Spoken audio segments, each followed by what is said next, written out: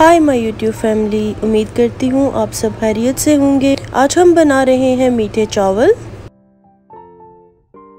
मीठे चावल बनाने के लिए सबसे पहले मैंने एक बर्तन के अंदर टू टीस्पून घी लिया है।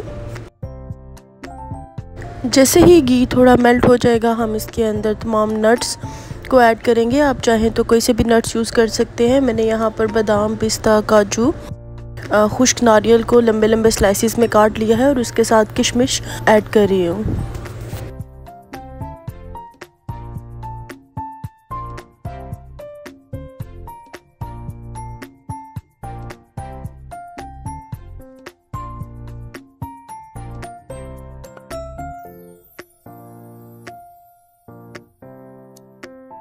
तमाम नट्स को घी में हम तीन से चार मिनट के लिए थोड़ा सा फ्राई करेंगे जब तक हल्का सा इनका कलर चेंज हो जाए। आप चाहें तो कोई सा भी वेजिटेबल घी भी यूज़ कर सकते हैं, लेकिन देसी घी के साथ जो फ्लेवर है वो बहुत इन्हेंस होके आता है। तो आप लोग देसी घी यूज़ करें और नट्स को फ्राई करने से भी उनका टेस्ट जो है वो बहुत अच्छा आता है। नट्स यहाँ पर फ्राई हो चुके हैं, अब हम इन्हें निकाल कर साइड पे रख देते हैं और अपने नेक्स्ट स्टेप की तरफ़ चलते हैं। मैंने half K G basmati rice को नॉर्मल हाफ़ बॉईल कर लिया है, यानी कि वो पूरी तरह से गले नहीं है, थोड़े कच्चे हैं। राइस बॉईल करते टाइम पानी में कुछ भी ऐड नहीं किया था, नमक वगैरह कुछ भी नहीं। बॉयल्ड राइस में से मैंने भी यहाँ पर तीन प्लेट्स में थोड़े थोड़े राइस ले लिए हैं। अब हम इनके अंदर तीन डिफरेंट कलर मिक्स करेंगे। सबसे पहले मैं यहाँ पर रेड कलर मिक्स कर रही हूँ। मेरे पास लिक्विड वाला था तो मैंने ये मिक्स किया। अगर आपके पास पाउडर है तो आप उसको नॉर्मल जैसे पानी में मिक्स करके बाद में वो चावल में ऐड कर सकते हैं। मुझे इसमें कलर कम लग रहा है, इसलिए इसमें मैं थोड़ा सा मज़ीद कलर ऐड करूँगी। आप अपने अंदाजे के मुताबिक कलर ऐड कर सकते हैं। अब कलर को अच्छे से राइस में मिक्स करते हैं ताकि राइस का कलर जो है वो अच्छे से रेड हो जाए। देखिए कितना अच्छा रेड कलर आया है। अब हम ऐसे ही बाकी कलर्स को राइस में मिक्स करेंगे। मैं यहाँ पर अभी ग्रीन कलर मिक्स कर रही हूँ और इसके बाद हम अपना थर्ड कलर मिक्स करेंगे। तो पहले ये कलर अच्छे से मिक्स करते हैं।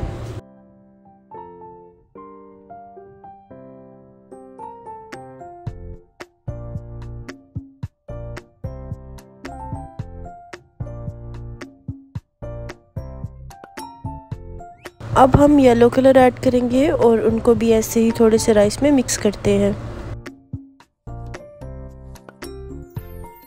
जी तो येलो कलर भी हो चुका है मिक्स अब हम अपने नेक्स्ट स्टेप की तरफ़ चलते हैं। मैंने यहाँ पर एक देचकी के अंदर हाफ़ कप घी लिया है। अब हम इसमें ऐड करेंगे तीन अदद लौंग, चार, तीन से चार सब्ज़ इलायची और छोटा सा टुकड़ा दालचीनी का। और इसे तकरीबन एक से दो मिनट के लिए पकाएँगे। अब हम इसमें डालेंगे एक कप शुगर। शुगर आप अपने टेस्ट के अकॉर्डिंग भी यूज़ कर सकते हैं। फ्लेम को लो रखना है और साथ साथ चम्मच चलाते रहना है जब तक शुगर अच्छे से मेल्ट हो जाए।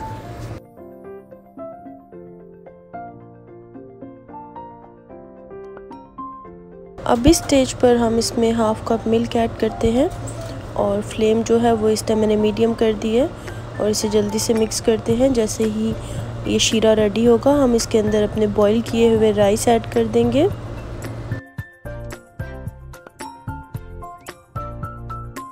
जी तो अब हमने राइस ऐड कर दिया मैंने थोड़ा मिक्स किया है। अब इसके बाद जैसा कि मैंने आपको बताया था कि मैंने यहाँ पर हाफ़ के जी राइस लिए हैं और उसके साथ मैंने आपको आ, हमने थोड़े थोड़े राइस के अंदर तीन कलर मिक्स कर लिए थे। अब वो कलर किए हुए राइस बाकी बचे हुए बॉयल चावलों के अंदर ऐड करते हैं और इन्हें अच्छे से मिक्स करते हैं। देखिए, राइस अच्छे से मिक्स हो गए हैं और ये कितने कलरफुल लग रहे हैं। अब इसमें ऐड करते हैं two tablespoon dry coconut ये ऑप्शनल है, अगर आपको अच्छा नहीं लगता तो आप स्किप कर सकते हैं। और इसके साथ ही जो हमने नट्स फ्राई किए थे, वो मैंने ऐड कर दिए हैं तमाम इसके अंदर।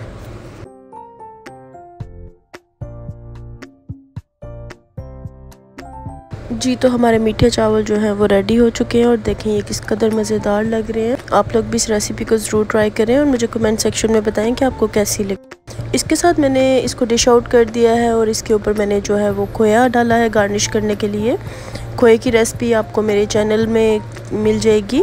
आप वहाँ पर जाकर देख सकते हैं कि हम आसानी से कैसे घर पर खोया बना सकते हैं।